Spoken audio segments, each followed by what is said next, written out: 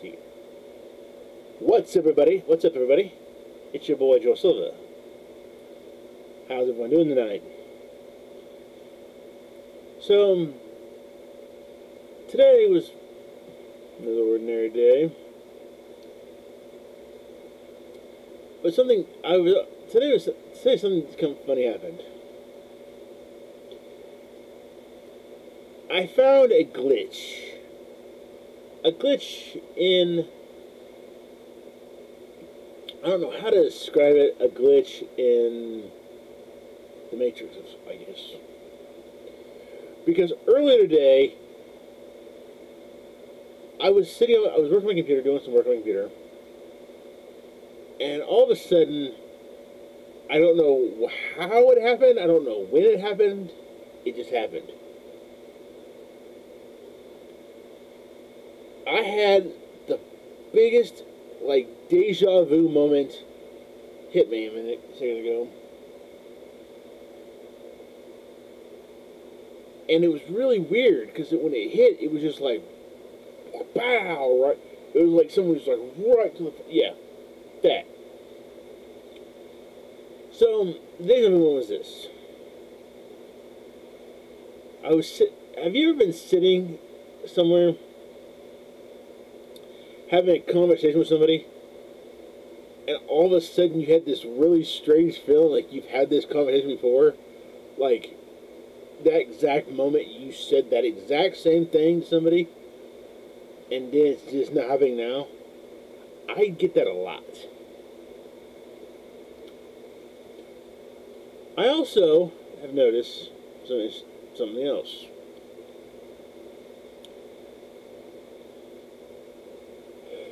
Whew, sorry. Whew. Wow. Ugh. Mm.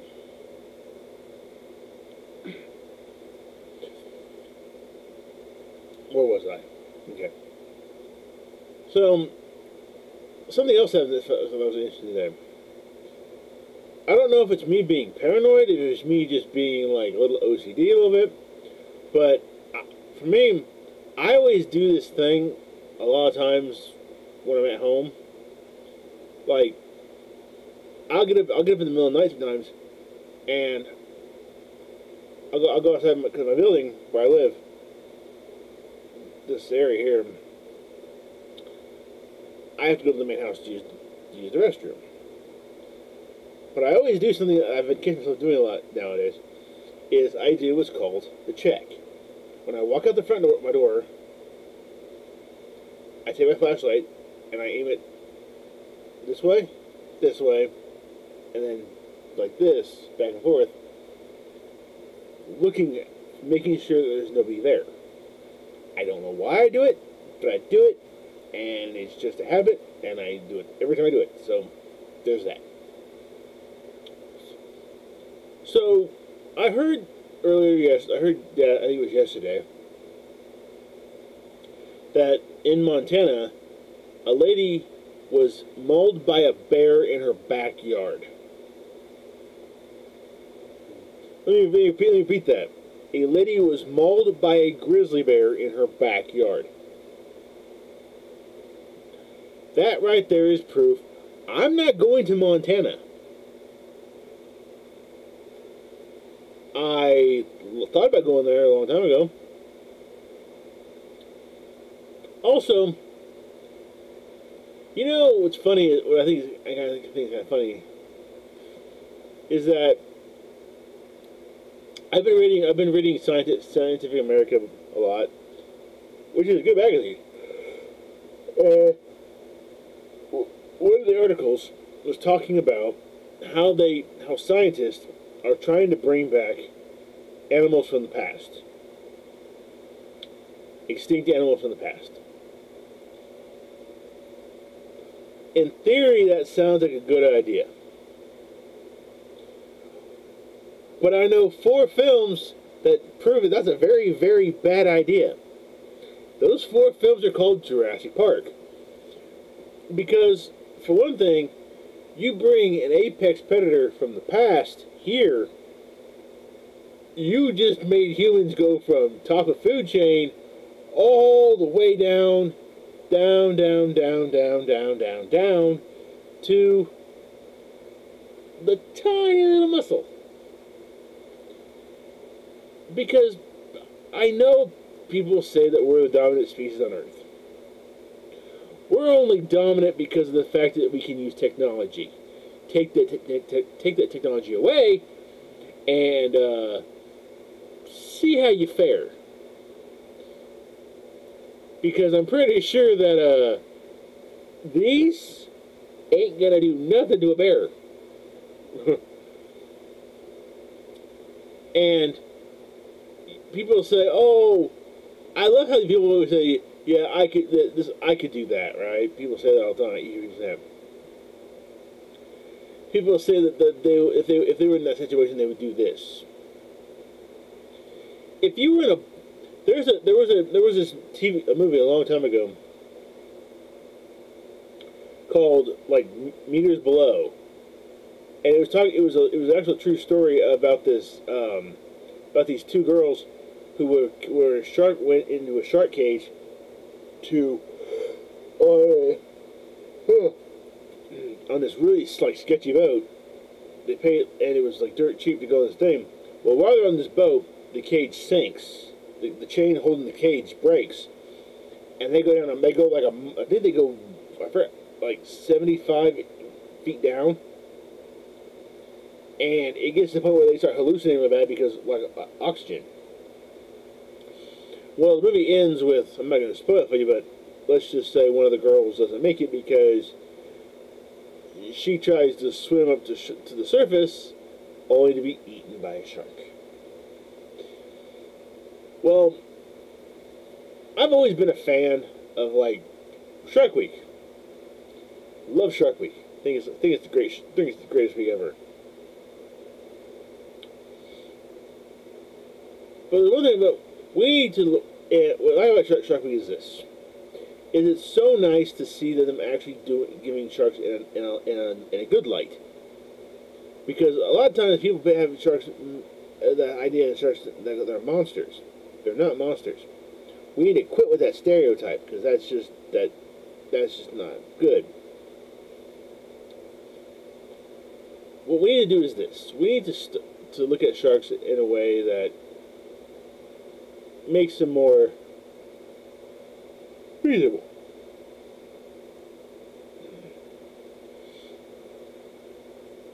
So, let's all change our point of views and look at things in a different light. Also, while we're on this thing of changing our mind about things,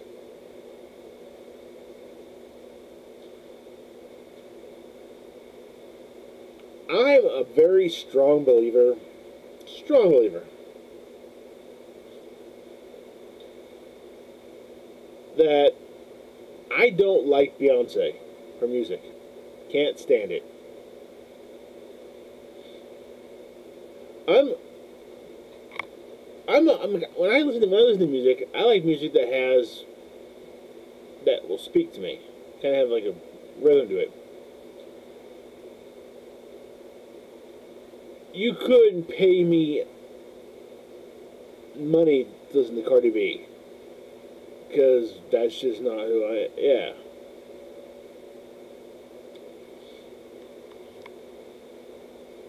So, and here's something that I need to get off my chest, and it needs to be said.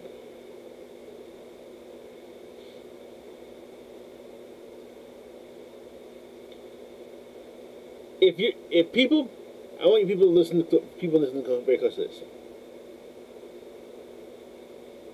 If you're moving out of state and you have a pet, and you don't, and your idea in your head is to dump that animal on a country road, you deserve to be smacked in the head for that.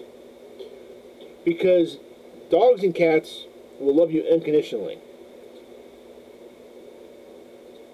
But they don't deserve to be dropped off and abandoned just because you're too lazy or you don't you don't can't house them have anymore have them anymore. if you can't have a pet, don't get one. It's simple as that. Because there are plenty of dogs and cats in the shelters right now looking for good homes who would love to have a house, a forever home.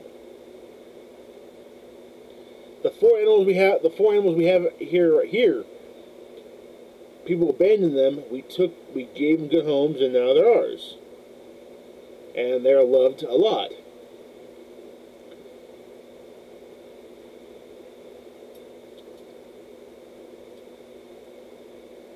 I, I'm a that this subject about animals is kind of a hard thing to say because it really irritates me to no end when people are that stupid to realize that are that just that dumb to they go, oh, I'm gonna get a dog and cat.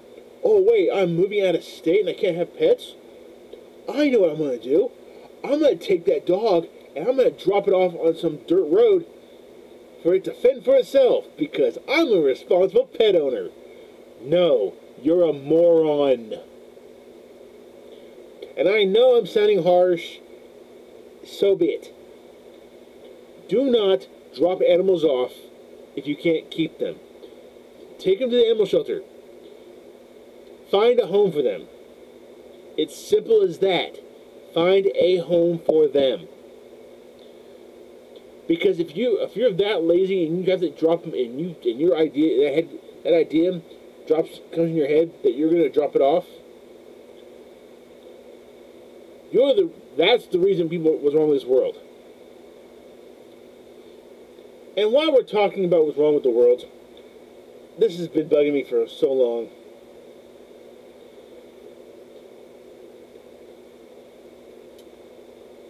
And I'm t- I know this is something a broken record, and I know this is it's going to be kind of. I'm not very I'm not a very political person, but can we stop with this whole Black Lives Matter movement? Because if you have to put a color in front of Lives Matter, it means you're a racist. because all lives matter. It doesn't matter what color you are. Your life matters. It's simple as that. And just in this day and age, people are so easily offended by everything. We need to stop with being offended by everything. And we need to stop letting the media show this internal fighting between us because all that's doing is showing enemies, that's showing other countries that we're vulnerable, that they could attack us. And that's not that's no bueno. Just saying. And I know that people, that this subject is hard for people to believe. But we really need to stop with this whole Black Lives Matter movement. All lives matter. It doesn't matter if you're black, white, yellow, purple, green. It doesn't matter. Your life matters. Stop with the stereotyping. Stop with the whole racism part. America, you need to grow up. It's simple as that.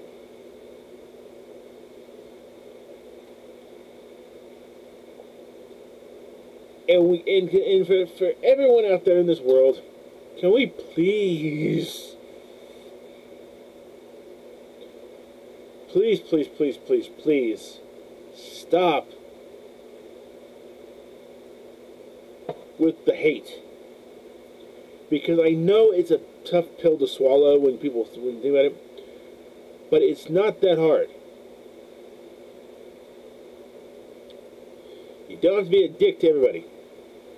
It's simple as that.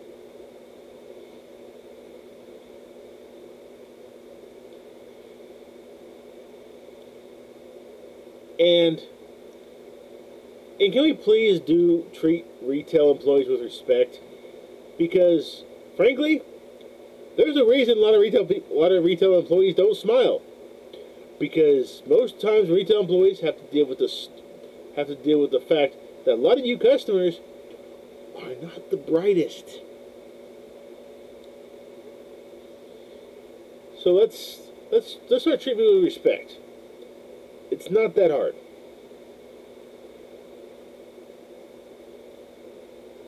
So I know that usually it's more upbeat and more, hi, this is great and all that stuff. But I'm here to spread the word that it's time for this country to grow up, stop acting like a bunch of whiny children, and stop getting easily offended by everything. And it's time for us to put our differences aside. Because, to tell you the truth, it's not that hard to do.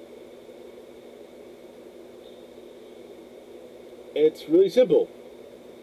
Stop believing everything the media tells you. Because their job is to basically keep you and in at odds.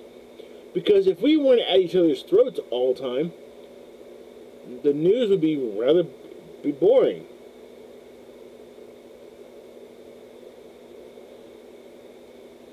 So, yeah. Let's all let's all come together as a country. Stop letting the media divide us. And we can make this country better.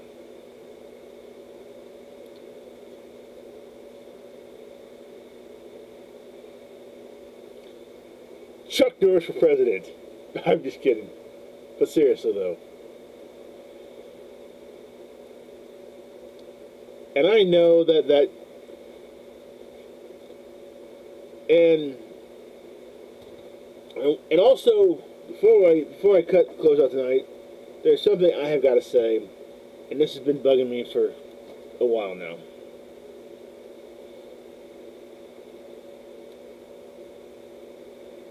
If you're driving down the street,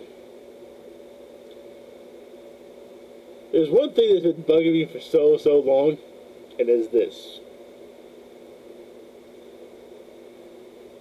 I get that everybody has their own taste in, in music and sports and all that stuff.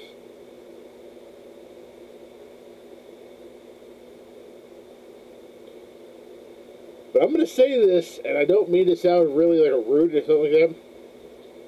But spinners do not belong on Dodge on on any muscle car because they look stupid on that. And I'm sorry, but there are certain cars that look really bad when you have to, when you have to jack them up. Like like trucks look really cool jacked up. But if you take a like um, a Capri and you jack it up so that basically when you get you have to when you get in the car, the car hits you about right about yeah high and you put the big wheels on it, that doesn't really do much but make the car look really, really bad. Just saying.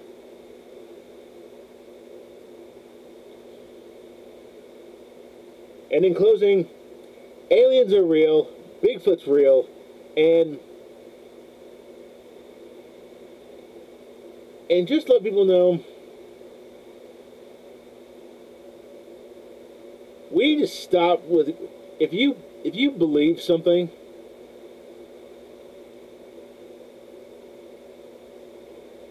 if you believe in something don't let people did not tell you that you're wrong. Because they're wrong.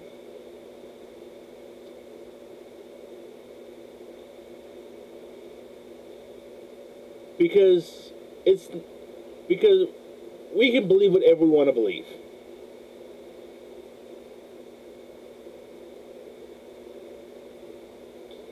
Like, for instance, this, before I, before I close out. Indiana Jones movies.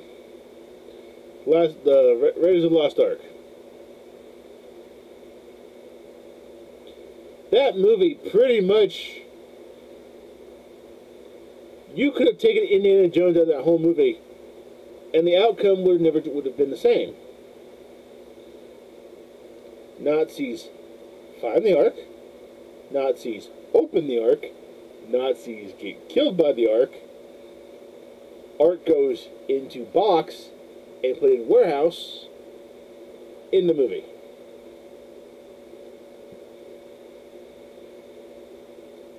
And I'm sorry, Temple of Doom, Red Lost Ark, Last Crusade, great movies.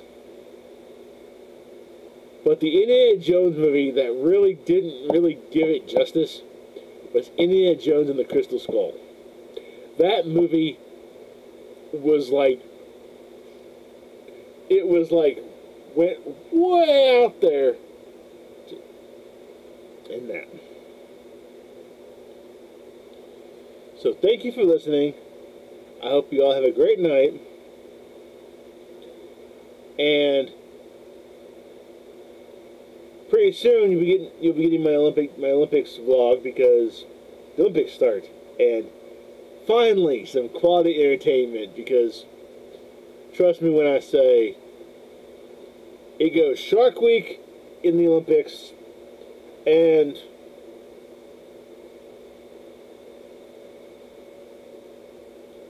and any documentary on Vikings or, or medieval times. That's my that's my that's my my go-to. And as always, I'm Joe Silva. Keep it oh so smooth.